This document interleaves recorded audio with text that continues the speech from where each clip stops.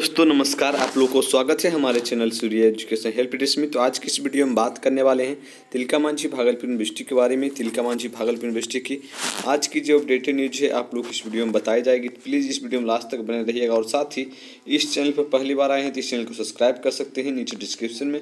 आप लोगों को टेलीग्राम चैनल का लिंक भी दिया गया है आप लोग जाकर ज्वाइन कर सकते हैं। वहाँ पर आप लोग को इसी तरह का अपडेटेड न्यूज़ मिलती रहती है।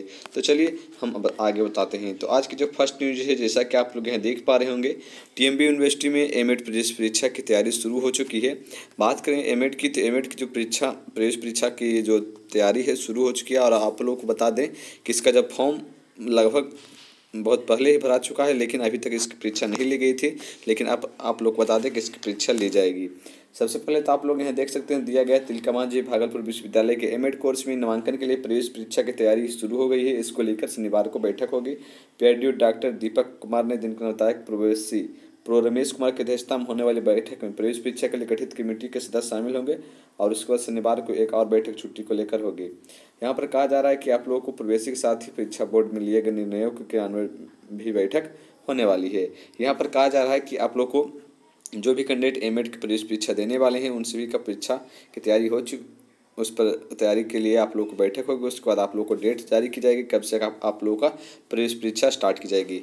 उसके बाद आप लोग का इसके प्रवेश परीक्षा के बाद आप लोग का एडमिशन लिया जाएगा। तो चलिए आज के सेकेंड न्यूज़ पे। आज की जो सेकेंड न्यूज़ जैसा कि आप लोग यहाँ देख पा रहे होंगे यहाँ पर दिया गया है विश्वविद्यालय में केवल ऑब्जेक्टिव प्रश्न पर परीक्षा।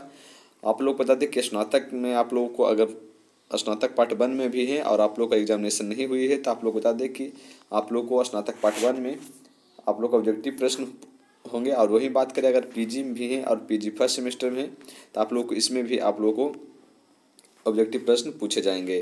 तो आप लोग जो भी कैंडिडेट फ़र्स्ट ईयर में हैं, आप लोगों को ऑब्जेक्टिव प्रश्न पूछे जाएँगे, वही बात करें, आप लोग को प्रश्न पूछे।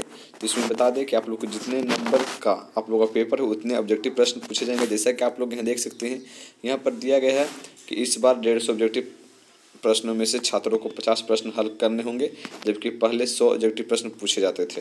यानी कि यहाँ पर कहा जा रहा है कि पहले जो था, आप लोग को सौ ऑब्जेक्टिव प्रश्न पूछे जाते थे, लेकिन यहाँ पर कहा जा रहा है कि आप लोग को इस बार डेढ़ सौ ऑब्जेक्टिव प्रश्न तो होंगे, लेकिन आप लोगों को पचास प्रश्न उसमें हल करने होंगे और पहले सौ ऑब्जेक्टिव प्रश्न पूछे जाते थे। उसके बाद फिर यहाँ देख सकते हैं, दिया गया है कि मरवाड़ी पाठशाला के प्राचार्य राधे श्याम ने राय ने बताया कि परीक्षा में ऑब्जेक्टिव के साथ सब्जेक्टिव प्रश्न भी रहेंगे।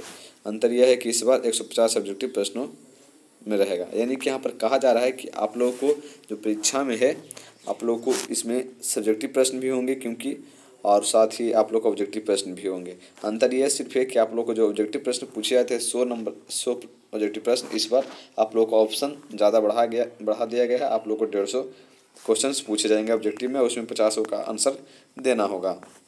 तो इस तरह से आप लोग को होने वाली है। आप लोग समझ चुके होंगे, उसके बाद फिर देख सकते हैं आप लोगों को तैयारी के लिए 140 मॉडल ऑब्जेक्टिव प्रश्न तैयार भी कर लिए गए हैं और जल्द ही इसके छात्रों को वेबसाइट पर उपलब्ध कराया यानी कि यहाँ पर कहा जा रहा है कि आप लोग को इसके जो मॉडल पेपर है, आप लोग को इसमें इसको तैयारी करके आप लोग को अपलोड कर दिया गया और कहा जा रहा है कि साठ परसेंट आप लोग को इसी प्रश्न, इसी से प्रश्न पूछे जाएँगे और अगर आप लोग ये से पढ़ लेते हैं तो आप लोग पास हो जाएँगे।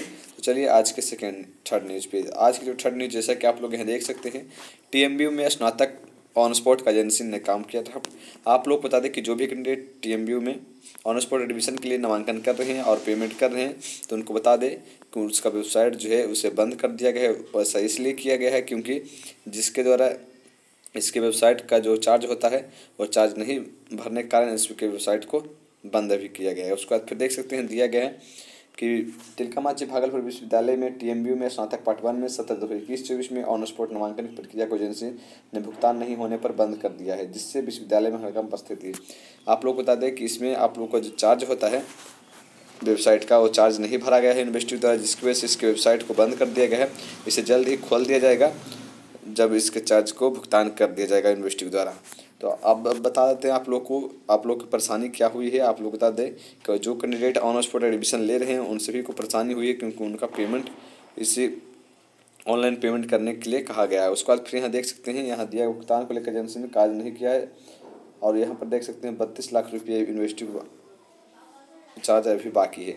इसको भुगतान करने के बाद ही इसकी वेबसाइट खोला जा सकता है। तो आप लोग समझ चुके होंगे, चलिए आज के फोर्थ न्यूज़ पे।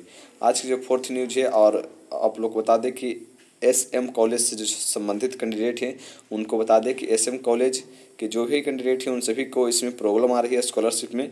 स्कॉलरशिप में ऐसा प्रॉब्लम आ रहा है कि आप लोग का जो पंजन है पंजन में परेशानी यानी कि, उसमें आप लोग का आवेदन करने में परेशानी हो रही है स्कॉलरशिप आवेदन करने में परेशानी हो रही है। वैसा इसलिए हो रहा है क्योंकि आप लोग का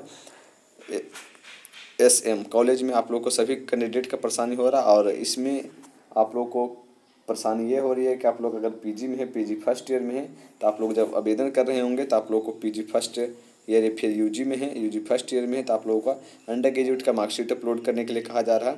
ऐसी प्रॉब्लम आ रही है जिसकी वजह से आवेदन नहीं हो पा रही है। और ये बता दें कि आप लोग को सभी अलग अलग कॉलेज को नहीं हो रही है। ये कॉलेज के द्वारा कुछ जो अपडेट करने का रहता है, वहाँ पर अपडेट्स ठीक से नहीं किया गया, जिसकी वजह से आप लोग को परेशानी हो रही है। आप लोग कॉलेज में जाकर मिलिए, आप लोगों को ठीक हो जाएगा। तो चलिए, आज की जो अपडेटेड न्यूज़ थी, आप लोग हमने बता दिया। और साथ ही इससे रिलेटेड और भी जानकारी चाहिए तो आप लोग कमेंट बॉक्स में पूछ सकते हैं। चलिए, मिलते हैं नेक्स्ट वीडियो में, तब तक के लिए जय हिंद, जय भारत।